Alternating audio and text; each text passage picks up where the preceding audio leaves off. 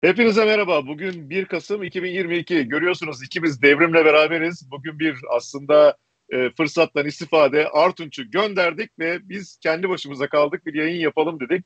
Artunç e, bugün önemli işler peşinde. E, biraz herhalde uzun bir müddette olmayabilir. Yani bizle beraber olacaktır da en azından e, Türkiye sınırları içinde olmayabilir. Ama dönüşte bizlere güzel haberlerle, piyasalarla geri döneceğine eminim. E, öncelikle hepinize merhaba dedikten sonra sevgili dostum, arkadaşım e, Devrim'e de bir günaydın diyeyim. Günaydın Devrim'cim, nasılsın? Günaydın Burak Hocam, teşekkürler. Sağ ol, bomba gibiyim her zaman olduğu gibi. Sen Harikasın. İyiyim iyiyim ben de çok şükür. Ee, şimdi biz e, bu hafta ne yapalım ne edelim derken maşallah elde malzeme çok bol. Ee, bugün 1 Kasım, yarın 2 Kasım FED kararı ortaya çıkacak. Ee, önce belki biraz onu konuşuruz. Hem küresel e, son derece önemli hem de Fed'in bundan sonra neler yapabileceği de bence bu toplantı sonunda biraz daha belki netleşebilir. Bir tarafta bu var. Diğer tarafta işte geçtiğimiz hafta Avrupa Merkez Bankası'nın 75 bas puanlık faiz arttırımı vardı. Onlar ne kadar nefesi yetebilir gelebilirler. Ee, bir de Japonya konusu. Onlar da ultra gevşek para politikasına inatla devam edeceklerini Bank of Japan söyledi. Ee, orada da bir şeyler oluyor ve dolayısıyla böyle bir enteresan haftanın içerisindeyiz. Dışarıda bunlar var. İçeride de aslında dün bir e, ekonomi zirvesi vardı. Sayın Hazine ve Maliye Bakanı buraya katıldı. Gene e, Türkiye ekonomisinin son derece iyi gittiğini, her şeyin son derece doğru olduğunu söylerken bir anda banka genel müdürleri ki bunların içerisinde İş Bankası Genel Müdürü bambaşka şeyler söyledi. Garanti Bankası Genel Müdürü de aslında e, belki bu kadar netlikte olmasa bile o da bir şeyler söyledi. Biraz bunları da içeriden konuşuruz diye düşünüyorum. E, Fed'le başlayalım istersen devrim. Ne diyorsun? Fed e, ne yapar geçtik artık herhalde. Bundan sonraki süreç nasıl ilerler? Yani zaten 75 bas puan cepte gibi duruyor. Evet, e, şimdi FED çok kritik bir karar oldu. Niye? Çünkü e, bu 2 Kasım'a bir şekilde çok fazla anlam yüklendi. Çünkü Fed'in burada artık 0.75 yapacağı neredeyse kesin gibi bir e, algı var. Evet bence de 0.75 yapacak ama bütün olgu bir sonraki toplantı, Aralık toplantısı. Bu iki toplantının arası çok yakın. Bazen işte yıla toplantı adedine göre bu aralıklar bazen açılıp kapanıyor. Bu arada fazla bir veri gelmeyecek. O açıdan fazla bir veri gelip de Fed biz gelen verilere göre karar vereceğiz diyemeyeceği için ya bir tane enflasyon bir de işsizlik verisi önemli olacak o aralıkta. Bunu diyemeyeceği için piyasa hemen bir e, senaryo setup e, set etti. Nedir? O, o senaryoyu da işte Wall Street Journal'daki e, yazar Nicky e, Tissemaros galiba. Nicky Leaks deniyor kısaca. Onun bir yorumu vardı. 0.75'ten sonra 50'lere falan doğru faiz indirimler olacak. Dün biraz oradan geri adım attığını görmeye başladık Nicky Leaks'in de aslında ama piyasa o kadar iyimseri almak istiyor ve o kadar ileri doğru yani bu işi artık bir Noel Baba rallisine çok aç şekilde hazırlıklı. O açıdan e, oradan bir umut beklentisi içerisinde ama FED de fazla bir gevşetme sözü verirse herhangi bir şekilde biliyor ki şu enflasyonda şuraya kadar birazcık bir hamle yaptı, bir şeyler becerdiğini kendince düşünüyor. En azından piyasayı bozdu. Ve bu bozmayı o kadar hızlı toparlar ki piyasa bütün yaptıkları 8 aydır 9 aydır yaptıkları çöpe gider diye de çekiniyor. O açıdan ben hala Fed'in yani genel anlamda bir dilini fazla yumuşatmasını çok mantıklı bulmuyorum. Ben hala piyasaları asıl kurtaracak olanın hazine tarafı olacağını düşünüyorum. Kurtaracak derken hazineler dünyanın her tarafında artık merkez bankaları o kadar kredibilite kaybıyla e, bu işleri şey yapmak ki 70'lerde de böyle olmuştu. Aynı 70'lere benzer bir olgunun içerisindeyiz. Hazineler bu işlere müdahale etmek zorunda kalacak ve e, merkez bankaları da ya biz aslında parasal sıklaştırmaya inanıyoruz ama falan gibi tarzda kalabilecekler gibi duruyorum. Yani FED e, başkanı aslında e, işte Paul Walker olmaya özenirken Arthur Burns çok eleştirilen Arthur Burns o zamanın Merkez Bankası ve en sonunda onu gö- görevden alıp e, Paul Walker'ı getirmişlerdi ama aslında Arthur Burns şu anda e, o da faizler arttırıyordu ama böyle sert zamanlarda bir geri vites yapıp bir dinlenmeye geçiyordu. İşte sorun da oydu. Şimdi eğer Powell bunu yaparsa e, burada büyük bir kredibilite kaybına tekrar döneceği için burada birazcık hala ben temkinliyim. Yani FED'e fazla um, ümit bağlandığını düşünüyorum. Ama piyasalar eğer yarın akşam e, FED'den fazla bir şey bulamayıp bozmaya kalkarsa işte o, ondan sonraki hamlede hemen hazinelerin yanına filan devreye girme ihtimali daha yüksek olasılık görürüm. E, o açıdan birazcık e, böyle fazla da anlam yüklememek lazım ama seviyeler önemli. Cuma günkü rally seviyesinin üzerine attığı zaman piyasa evet düşüşü şimdilik orta vadeli bir e, bir Santa Claus rally diyelim, Noel Baba rallisi ne, ne dersek diyelim ama riskler, risk enstrümanlara doğru bir eğilimin artacağını göreceğiz. Eğer o seviyelerin üzeri gelirse. Yani o açıdan hani piyasa bazen e, blöf yapıyor. Yani FED'i sıkıştırmak amaçlı. Bazen de kendi kendine bir e, kısa vadeli oyun oynamaya çalışıyor. Şimdi bunun hangisi e, FED'e sıkıştırmanın ben çok başarılı olacağını hala düşünmemekle beraber bunların bir tanesiyle piyasanın biraz daha yumuşama ihtimalini de ciddi anlamda görüyorum. Ama asıl olgu hala tahvil piyasasında. Tahvil piyasasını asıl Yellen ilgilendiren, büyük yatırımcıyı ilgilendiren o tahvillerdeki inanılmaz sert yükseliş oldu bu yıl. Faizlerdeki ve tahvillerde emeklilik fonları filan paramparça oldu. Amerika'da dahil. O açıdan dünyanın her tarafında bu faiz olgusundaki hızı kesmeye yönelik hamleler geleceğini düşünüyorum. O açıdan birazcık daha e, genel anlamda aşırı karamsarlıktan e, olası iyimserliklere doğru e, eğilimin artacağını düşünüyorum. Aslında Ekim ayı pek fena geçmedi yani son haftadaki atakla beraber son e, 2016'dan bu yana en iyi geçen Ekim ayı olmuş. E, özellikle endeks temasında da şu olduğunu ben okudum. Yani sen tabii çok daha yakından takip ediyorsun. Hani teknolojiyi satıldığını zaten gördük ama bir parça daha banka al temasının e, yoğun olduğu bir e, ayı geride bıraktık. Herhalde dediğin gibi Aralık ayı birazcık daha belki bu anlamda hareketli geçebilir. Daha e, iyimserlik de belki satın alınmak çok isteniyor. Çünkü hani 75 bas puan bu toplantıda arttıracak. Bu artık cepte gibi. Bir 75 bas puan daha belki arttırma ihtimali var ki o da fiyatların içerisinde. Ama e, herhalde 5 e, herkesin kabul ettiği bir tavan gibi gözüküyor. O 5'e çekmeye çok yakın e, bir Fed'le karşı karşıya kalacağız.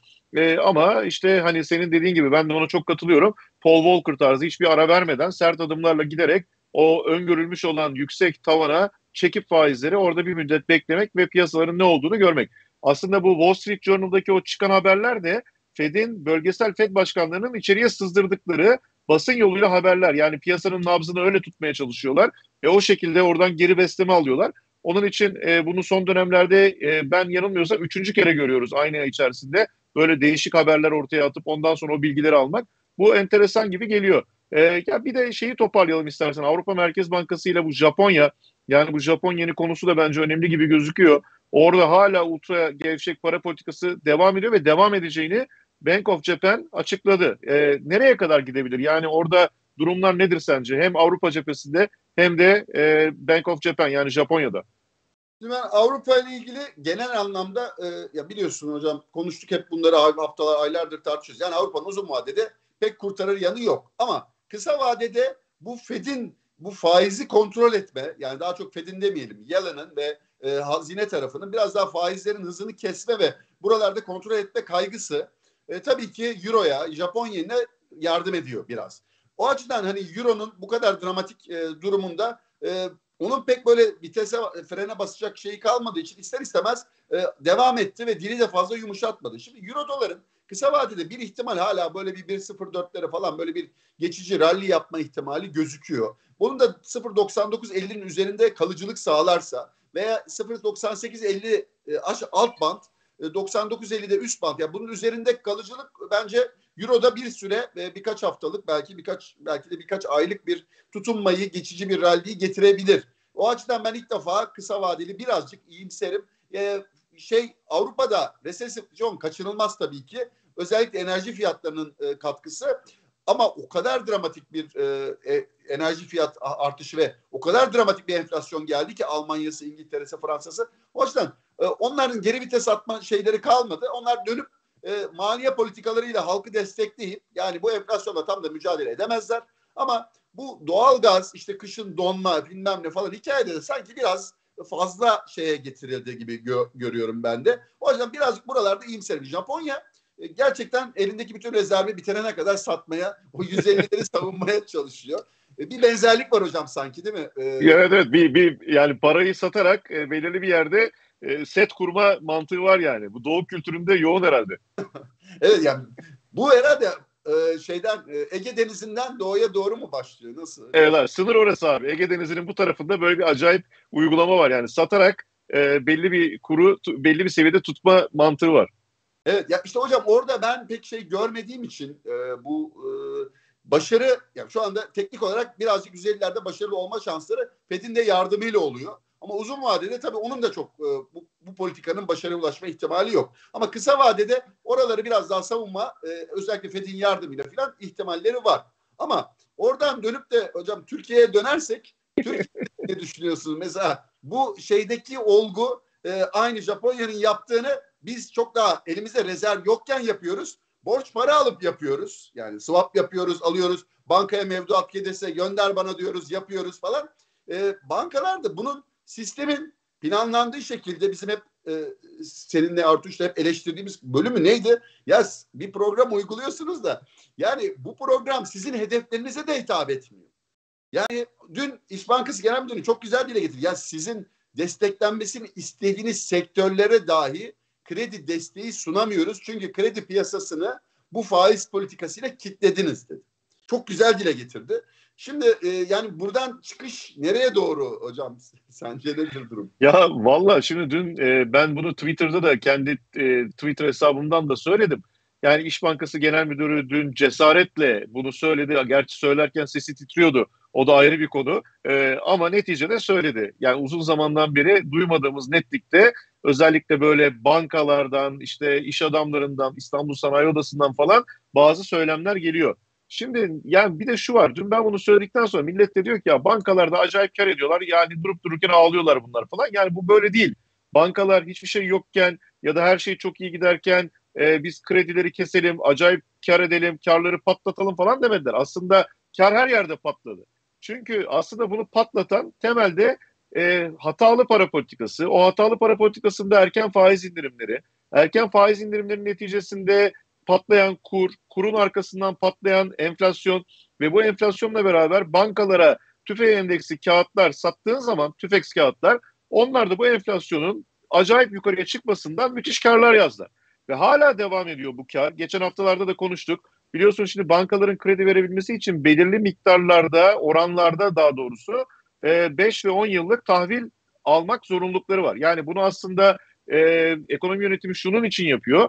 Hem tahvil faizlerini aşağıya çekmek, böylece borçlanma maliyetlerini indirebilmek hem bir taraftan da aslında seçime doğru giderken cephaneyi kuvvetlendirmek. Çünkü inanılmaz bir parasal genişlemeye gidilecek anladığımız o ve bu parasal genişleme içinde o cephaneyi işte bu e, özellikle kağıtlar üzerinden e, yerel kağıtlar üzerinden yapmaya çalışıyor. Ve öyle büyük bir garabet var ki işte Türkiye'nin yerel para cinsinden borçlanma maliyetleri dolar cinsinden borçlanma maliyetlerinin altına düşmüş durumda. Yani sonuçta sen Eurobond faizine daha çok para ödüyorsun ama TL faizler çok daha düşük kalmış durumda. Şimdi bu zaten kendi başlı başına bir garabet. Bunu haftalardır söylüyoruz. Ama işin en kötü tarafı yaklaşık bir senelik süre içerisinde bu makro ihtiyati tedbirler adı altında 200'den fazla uygulama geldi.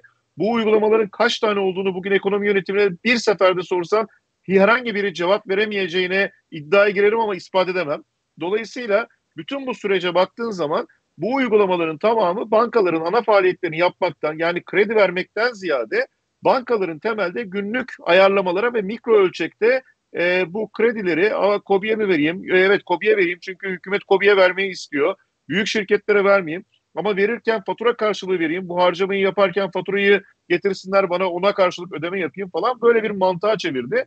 Ve ister istemez şimdi bankaların geldiği durumda şöyle bir şey var. Yabancı para cinsinden mevduat tutmanın artık bankalar için zarar verdiği bir noktadayız. O nedenle TL e, mevduatların faizleri geçtiğimiz hafta %30'lar civarındaydı. Belirli limitler için konuşuyorum. Ama yabancı para tutmanın bir anlamı yok. Çünkü eğer yabancı para tutarsan bu sefer o taban senin aleyhine çalışıyor. O oran aleyhine çalışıyor. Yani TL'ye dönmek veya insanları TL'ye döndürmek zorundasın. İşte dün de Merkez Bankası üzerinden Bankalar Birliği'ne bir yazı gitti. Normal şartlarda usul olarak bunun BDDK üzerinden Bankalar Birliği'ne gitmesi gerekirken Merkez Bankası doğrudan göndererek dedik ya ey bankalar siz böyle kredi falan veriyorsunuz ama verirken bunu KKM'de değerlendirin diyorsunuz ya da bunu mevduat tutun diyorsunuz.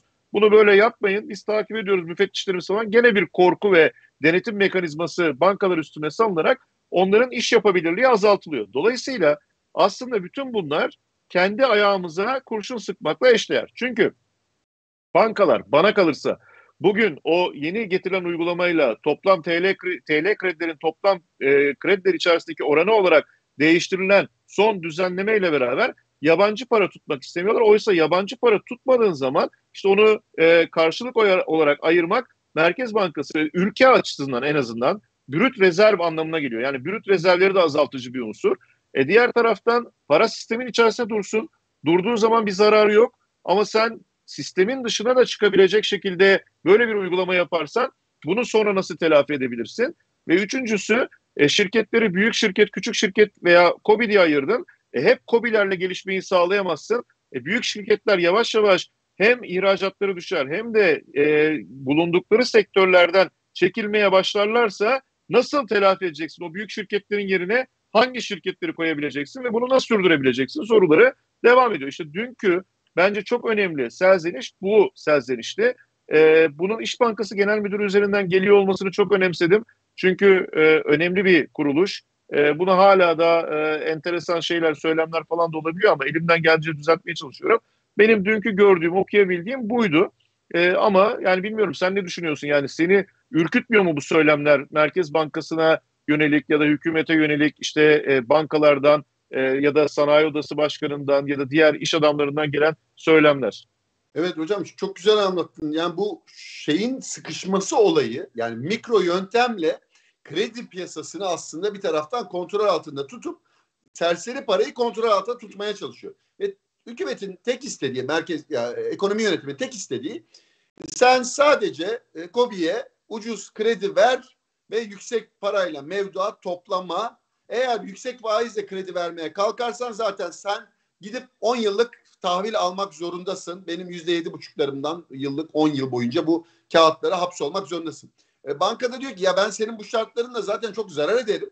Ben onu yapmayayım. Ben halktan mevduatı toplayayım kredi falan da vermeyeyim. Hani şu anda. İşin özeti bu. Aynen. Türkçesi bu. Banka bunu çünkü diyor ki senin mikro metodunu yaptığım anda ben öz sermayemi kaybetmeye başlıyorum. Onu yiyorum. Bu model çünkü otomatik olarak eksi bir model. E, ekonomi yönetmeni diyor ki biraz ye ne olur. Yani biz işte şey için e, feda feda et diyor. Banka diyor ki sana ben... para kazandırdık diyor. Yani biz diyor tüfek kağıtlarla sana para kazandırdık diyor. Enflasyon Aynen. muhasebesi de uygulamıyoruz diyor. Sen zaten acayip karlar ediyor gözüküyorsun ama enflasyon muhasebesi uygulasan aslında belki bu karların beşte birine, altıda birine düşecek. Bazılarda belki negatif de olabilir. O oraya kadar gelecek diyor.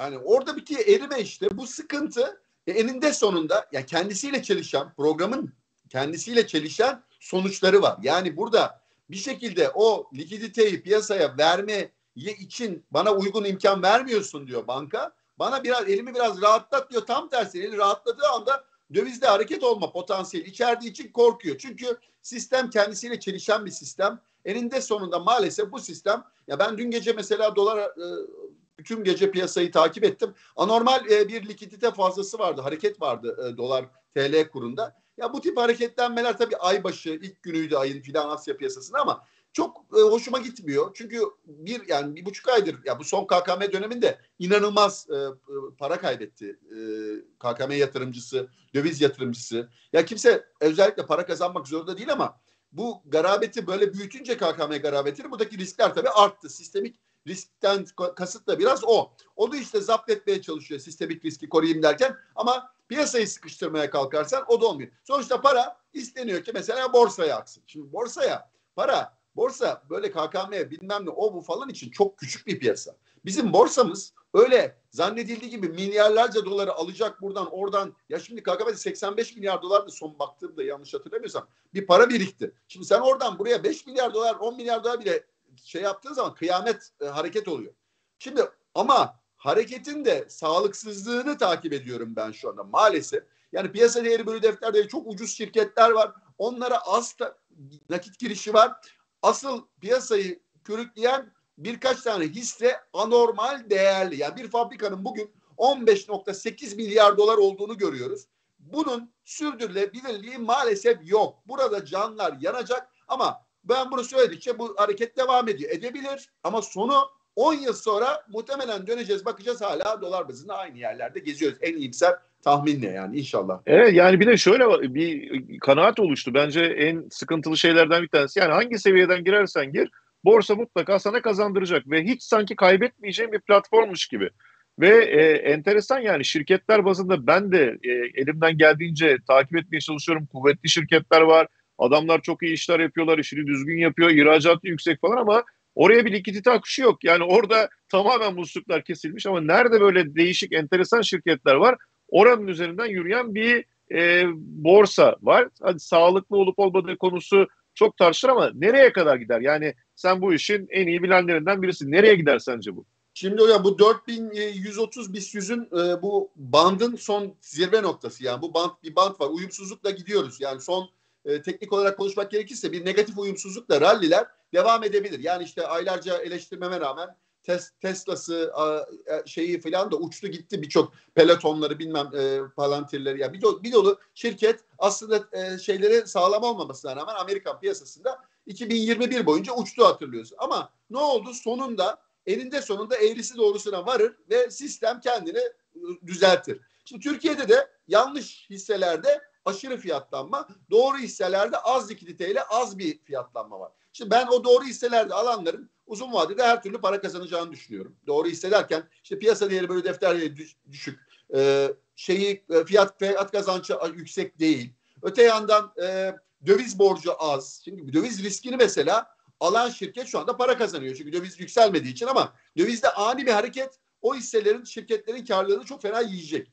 Bu açıdan döviz riski az şirket. Yani bu üç kritere baktığım zaman bu en azından bir üç, bu üç kriter. Çok daha fazla finansal rasyo var ama hani bu üç kriterle ilk e, basitçe bakıp da bir tablo hazırlayınca o, o tip şirketlere yatırım yapmanın daha doğru. Yani bir aracı kurumlara danışıp şeyler burada e, buna göre ben ne ucuz kalan hisseler nelerdir? Bunlardan aldığın zaman borsa düzeltme de yapsa uzun vadede, orta vadede kazanmaya devam edeceksin. Ama bu pahalı şirketler yüzün üstüne gelmiş FK'lı şirket var. Yani şimdi bir tane fabrika yani işte 100 120 FK'larda geçiyor yani böyle şeyler. Ve milyar da bunlar küçük şirketlerde olur bu. Teknoloji şirketlerinde de olur. Ama fabrikalarda filan yani böyle FK'lar, böyle piyasa değeri, böyle defterleri 20'ler, 30'lar falan bunlar kalıcı olması imkansız. O açıdan uyarıp duruyoruz ama Aa, daha siz uyarıyorsunuz gidiyor diyor. Evet gider ben gitmez demiyorum ama mutlaka mutlaka o düzeltme dediğimiz şey bunlarda düzeltme olmaz çöküş olur. Ama diğer hisselerde işte şişe camıydı, Aselsan'ıydı, Türkcell'iydi falan bunlar böyle uzun vadeli sağlam şirketler. Bunlar da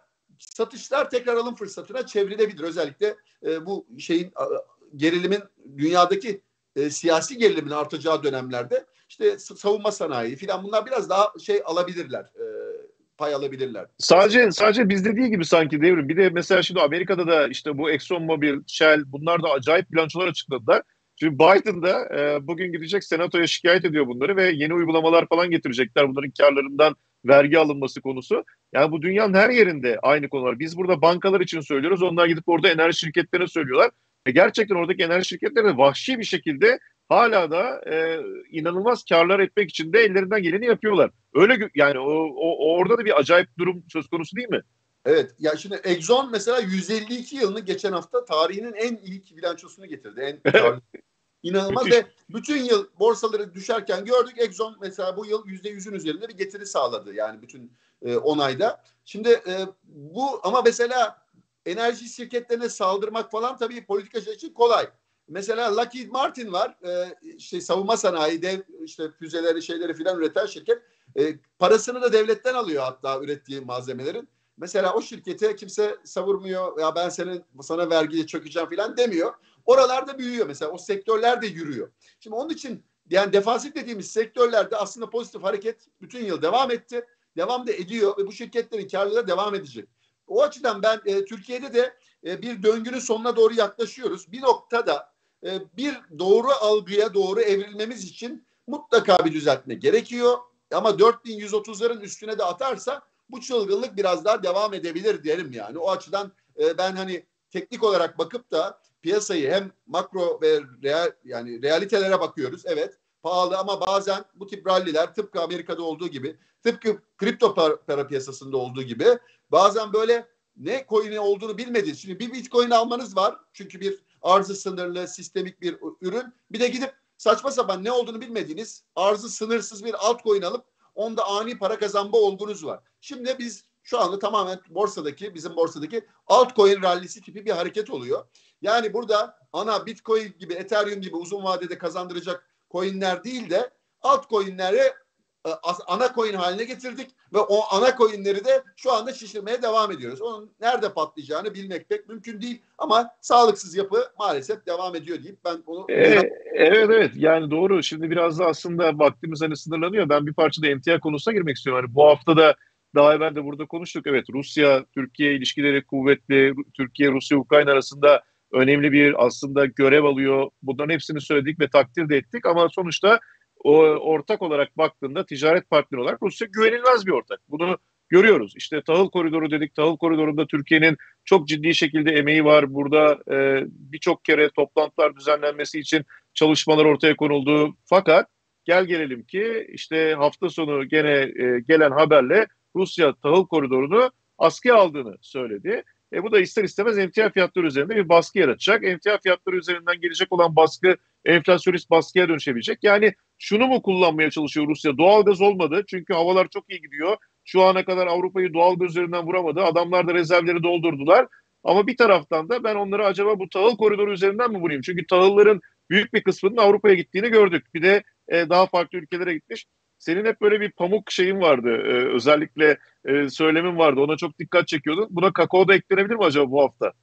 Ee, evet hocam tabii kakao çok enteresan bir ürün. Bir türlü gitmeyen bir ürün. Yani orası duruyor. Fil dişi sahili ve Gana'daki gelişmeleri takip etmek lazım. Çünkü dünyanın e, kakaosu yüzde yetmişini e, iki ülke üretiyor. Orada Belçika'nın tabii o ülkeleri manipülasyonu var. Yani e, bu çok şey e, olgular ama kahve bayağı bir darbe yedi son e, hareketlerde. Çünkü kahve üretiminde e, bir e, artış şeyi e, rekoltede artış görülmeye başlayınca kahve son haftalarda bayağı bir dayak yedi. Şimdi kakao hala görece bence ucuz bir ürün. Portföylerde bulunması lazım ama tahıl genel olarak bir süredir bir baskı yiyordu. Şimdi çok güzel değindin. Orada doğalgazda oyunu oynadı. Bir düştü. Şimdi doğalgaz tekrar yükseliyor. Bence bu arada doğalgaz fiyatları yükselmeye devam edecek orta uzun vadede. Petrol çok kritik. Petrolü tabii çok dikkatli kullanmaya çalışıyorlar. Yani petroldeki hareketleri öyle doğru manipüle etmesi lazım ki OPEC Plus'ın ne e, Batı yani tamamen pes etmesin ve böyle aşırı e, isyana da geçmesin. Ama yani şimdi 90 dolarları oturttular mesela. Yani ama 130 dolara gittiği zaman böyle büyük bir isyan vardı. Şimdi yeni bir rally hazırlığı da olabilir orada. Böyle 94-95 dolarların üzerine atıp kalıcılık sağlarlarsa petrolde yeni bir 100, e, 110'lara doğru bir rally ihtimali de var. Orayı takip et. Yani Fed'in aslında azıcık dilini yumuşatsa aslında patlayacak olan şey yine emtia piyasası. Yani evet risk piyasaları da patlar bir geçici ama orada karlılık düzelmeyecek. Yani çünkü Fed yumuşattığı anda dilde bir iki aylık geçici bir rally olacak. Daha sonra Fed yine diyecek ki Allah diyecek uçtu petrol. Bütün ham madde fiyatları yine uçtu. Emtia piyasası uçtu. Ben yine frene basmak zorundayım diyeceği için ben o hamleleri onun için biraz temkinliyim ama emtia bastırılamaz bir noktaya geldi. Yani tarımsal emtia bence portföylerde bir miktar mutlaka sepetlerde olmalı. İşte geri çekti, çekti buğday bir gecede bir hafta sonunda patladı. Yüzde yüzde yedi yukarıdaydı. Bugün biraz hafif e, gevşek ama ben yine geri çekilmelerde 850 dolar civarında e, buğdayı beğenirim. E, pamuk biraz daha farklı bir ürün ama o da sonuçta bir endüstriyel bir e, tarımsal emtia olduğu için endüstriyel de bir emtia ama onun da bence bu 70'li 70 dolarlı rakamlar fena değil şey kontrat bazında konuşuyorum Katın Cash için. Yani 70 doların altı çok beklemiyorum.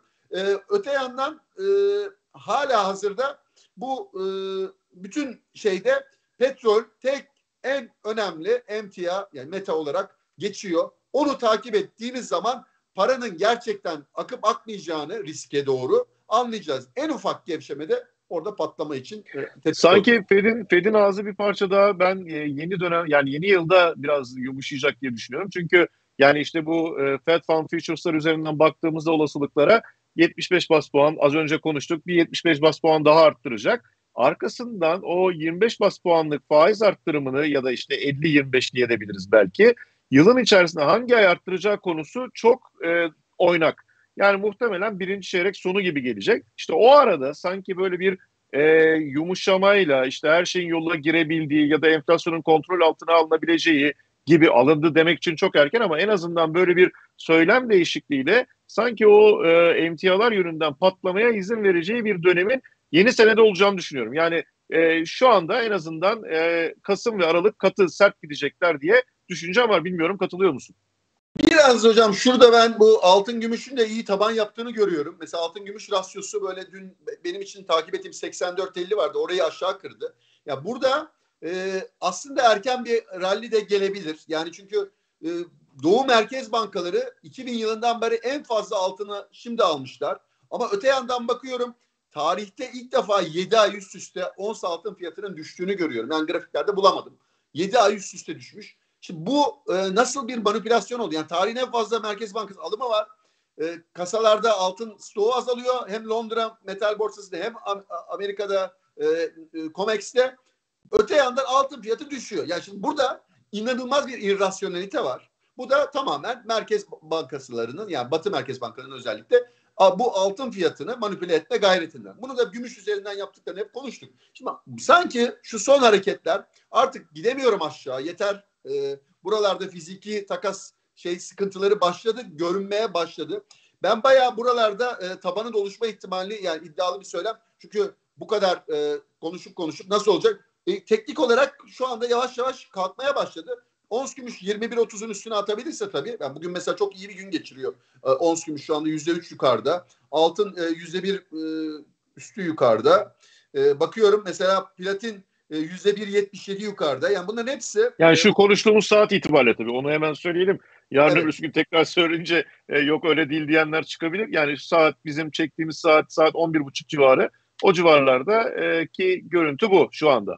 Evet ama genel hatlarıyla ben bunların uzun vadeli bir taban oluşturmayı yani özellikle makro verilerle büyük bir çelişki var. Yani buradaki bu kadar alım yapılıyor kardeşim yani bu mekanik veriler diyelim makro demeyelim. Mekanik verilerde inanılmaz bir e, şey var. Sanki burada anti dolar hareketi ister istemez e, böyle kendini e, biraz atacak ve Fed de buna izin vermek zorunda kalacak. Çünkü az önce söylediğim sebepler tahvil piyasasındaki aşırı sıkıntı faizleri birazcık burada nefes aldırma yanınız da uzun vadeli tahvilleri nefes aldırma mecburiyeti var. 20 yıllık, 30 yıllık, 10 yıllık yani Amerikan tahvillerini takip edip zaten onlarda gevşeme oldu. Mesela 2 yıllık tahvil fazla gevşememeye başladı.